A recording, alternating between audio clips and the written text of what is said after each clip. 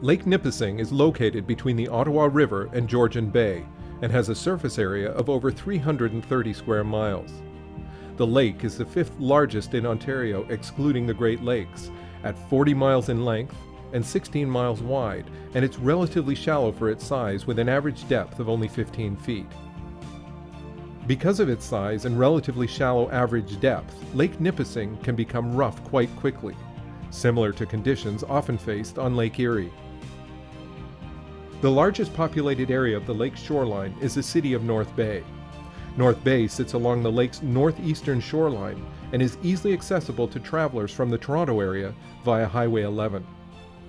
We've ice fished Lake Nipissing on numerous occasions, primarily in the Callander Bay area, but we'll be concentrating our efforts on this trip to fishing the shoals in and around South Bay. The lake contains over 40 different species of fish, including smallmouth and largemouth bass, muskie, northern pike, perch, freshwater drum, and our target species for this trip, the walleye. The walleye is the largest member of the perch family and has an elongated body and a long blunt snout that does not extend beyond the upper jaw. Its sides are golden yellow, the underside is milky white, and the lower tail fin has a characteristic white marking. Walleye can be found in many North American lakes and rivers, provided they're deep or turbid enough to give shelter in daylight. The walleye's eyes are very sensitive to bright light, and walleye often use sunken trees and boulders as shelter during peak light periods. In more turbid water, like that of Lake Nipissing, walleye are more active during the day, as a greater amount of light is filtered out. As the walleye increases in size, its diet shifts from invertebrates to fish, and can be caught using a variety of live bait combinations, including jigs tipped with live minnows, worms, or leeches. These are the tactics we will use on this episode. During our stay, we enjoyed the hospitality of Steve and Pam, owners of the South River Resort. Here we stayed in one of their eight cottages situated on the South River. The cottages had been freshly renovated and were well appointed and spacious enough for all of our gear. Private boat docks with shore power located on a tributary of the South River ensured that our Tracker 175 was sheltered from river traffic and winds and was ready to go on the early morning fishing adventures.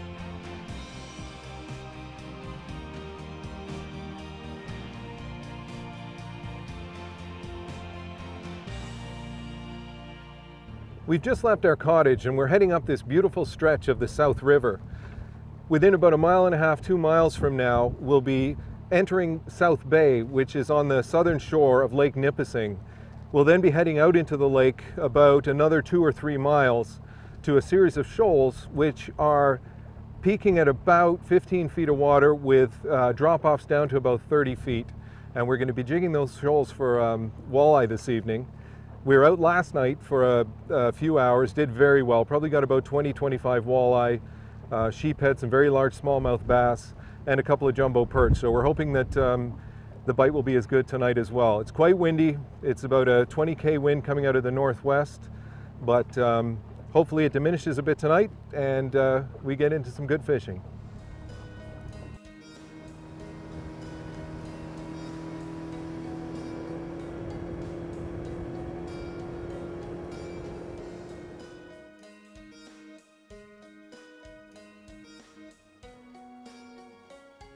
Within minutes of arriving on the first shoal, Steve was into the first smallmouth bass.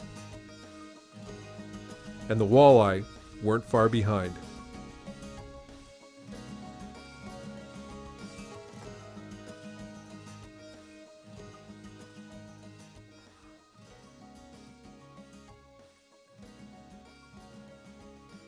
He is huge walleye.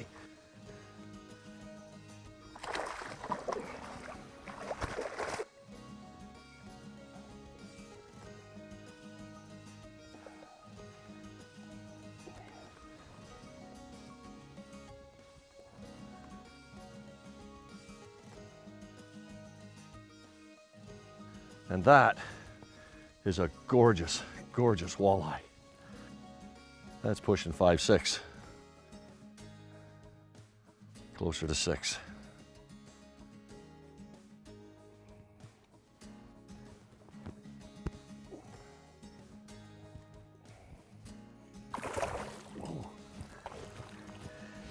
He was just fooling. Excellent. That was a good one. On this week's Focus on the Future, we'll return to the Ringwood Fish Culture Station for part two of the salmon and trout hatchery process. Once in the hatchery, the eggs are fertilized by mixing them with the sperm and water. The association between eggs and sperm occurs very rapidly. The eggs are then moved to the incubation room, where they are rinsed thoroughly in an Ovadine solution for approximately one hour. This process removes any contaminants or external diseases that may be present on the eggs. The eggs are then rinsed in fresh running water for an additional hour to remove the Ovadine solution and flush away any impurities.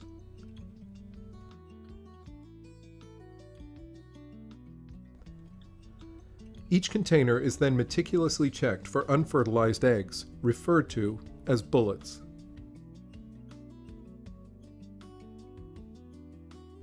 These bullets appear white in color and are removed from the fertilized eggs and discarded.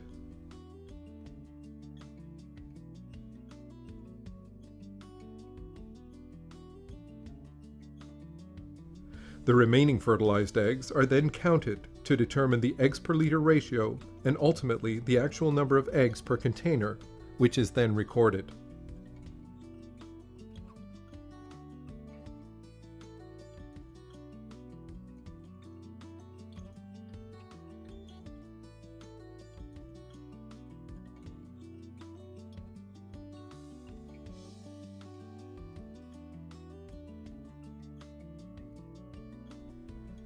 The eggs are then poured into incubation trays, where they will continue to develop, thus completing the first cycle of their lives.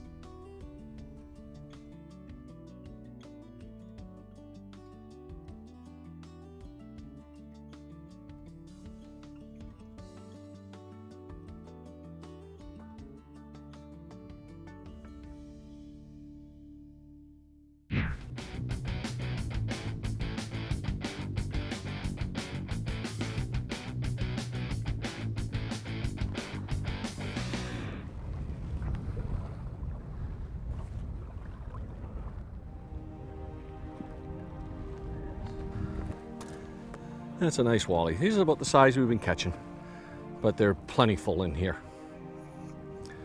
Well, we'll get him back.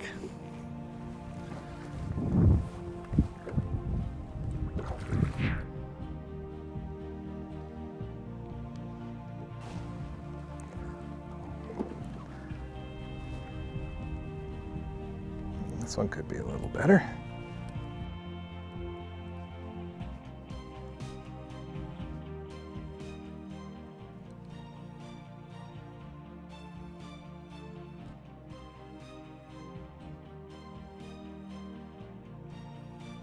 That's a nice walleye.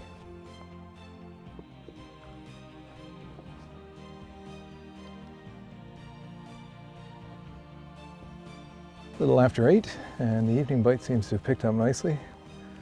And that one is a nice eating size walleye.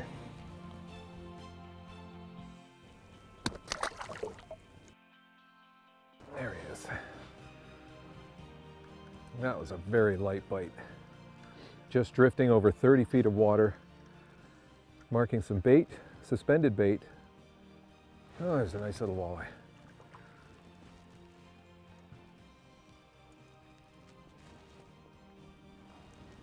And we'll toss him back. We've got quite a few marks, suspended marks, probably some type of uh, some type of bait movement. But beneath them and hugging close to the bottom, we've got the occasional hook, which is probably uh, schools of walleye, and hopefully we can get into some uh, some decent numbers of those. But we're between a couple of shoals that rise up to about 15 feet of water, and we're just between those now in about a 30 foot trough, and uh, it's late morning. So the uh, fish are probably holding deeper. We've got a few more marks on the screen now, so we'll try and get back down there and see if we can't pull out another of those. This feels like a better one.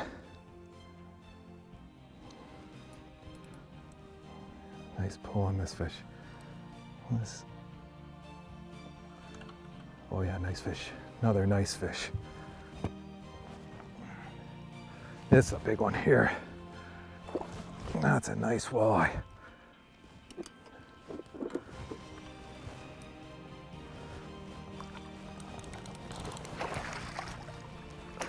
Oh, he's not gonna fit. Oh, there's a beauty.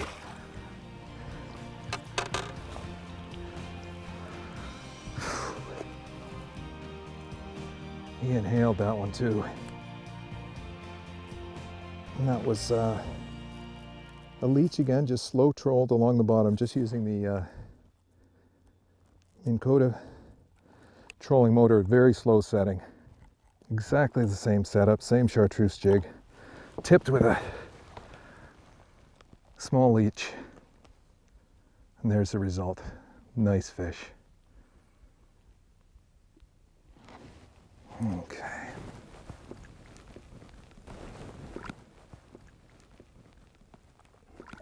There he goes. Whew. Let's get another one of those. Oh, that's a,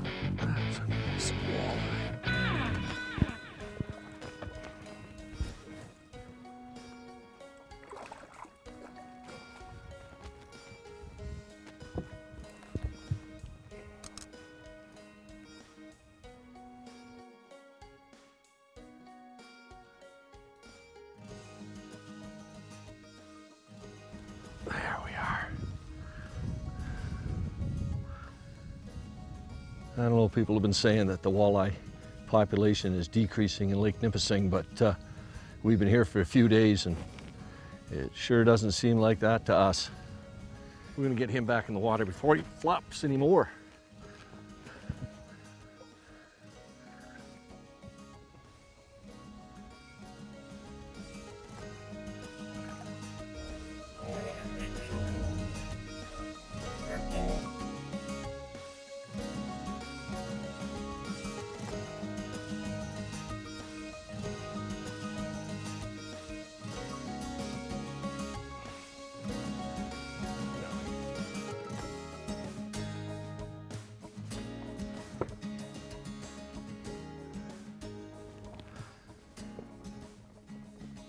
Another nice Nipissing walleye.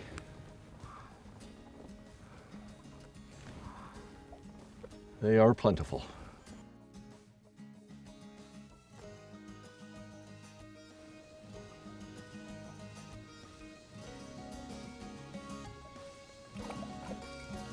Well, I don't think this is walleye. If it is, it's a nice one. I get the feeling it's a smallie. Nice fish though. Oh no, it's a nice eye. Nice eye. That's better. That's a little better. That's a good one.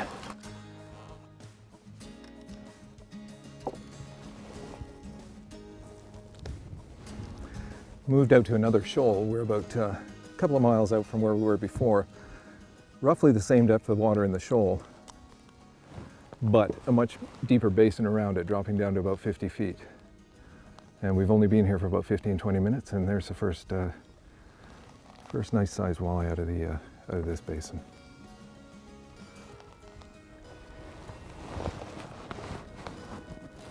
And he's going back.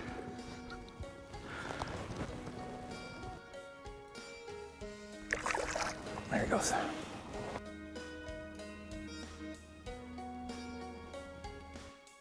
He's just a smaller one, but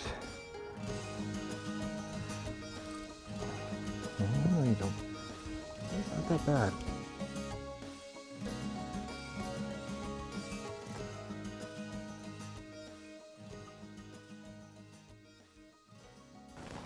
A little bit shallower. We're 23 and a half feet now, and into the fourth of the afternoon. Nice little fish. Just a small one, but better size class on this shoal than the previous one. Nice little walleye nonetheless.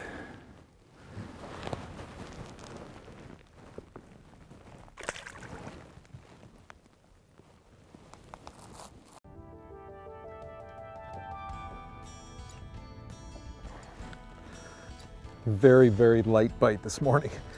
Very light bite, but there's another walleye about the same. Whoa! Missed him. It's a very light bite. We're using both leeches and worms, and we've had tails taken off both of them on numerous occasions. And uh, so we're just shortening and shortening and shortening the tails to try and get them to take the whole bait in, but uh, very, very sensitive. And that's another good reason for using the light braided line. We've got, um, we've got a 10 pound braid main line and then a 10 pound fluoro leader. And that combination is working really well. It's sensitive enough that we can feel all of the, uh, the hits. It's just, the bite is just a bit too light. Try that again.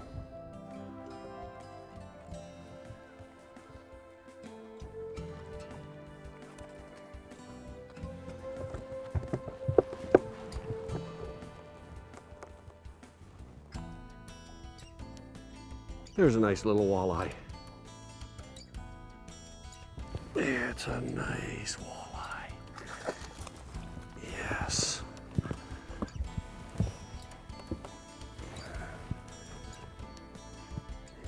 He was just hooked, just ever so slightly.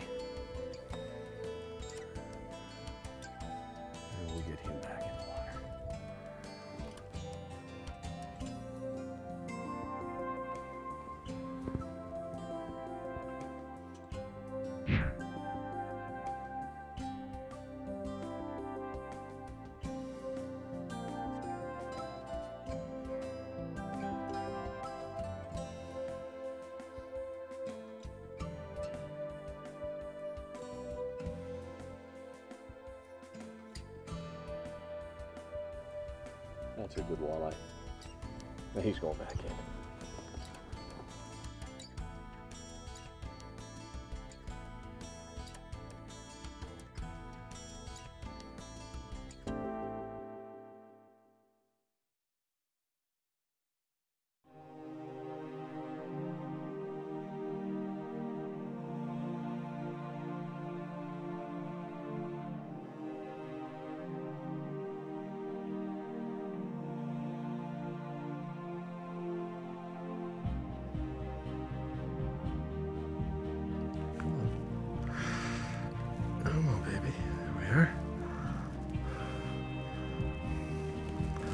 That's a nice walleye.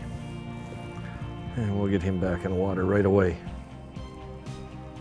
Still got the big school underneath the boat, and we're uh, catching um, good quantities of the smaller fish, but we've also caught some of the big ones. So the bite is still on, and while we still have light, we're going to keep at it.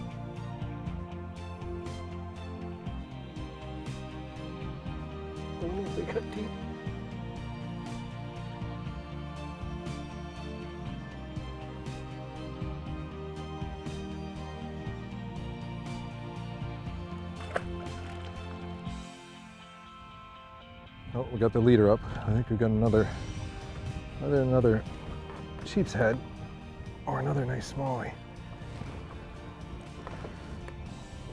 Oh, oh or a huge, huge eye. We've got a really nice walleye here. Really nice walleye. Oh, that's what we're looking for. There we go. That's exactly what we've been looking for. There's a nice North Bay, good five, five plus pound walleye. Good evening bite, a 3 8 ounce chartreuse jig, tipped with a worm, directly on the bottom, and just fished almost motionlessly. Nice fish. That's a good breeding stock, and he's going right back in. There he goes. Beautiful fish. Excellent. Let's get some more of those. This is a place that's known for really good walleye fishing, but in fishing here the last couple of days, we've also got good numbers of large sheep's head, um, some good smallmouth bass, and also jumbo perch. So we're going to set back up in the same area using the tactics that we use for walleye and see what other species we can pull out of here.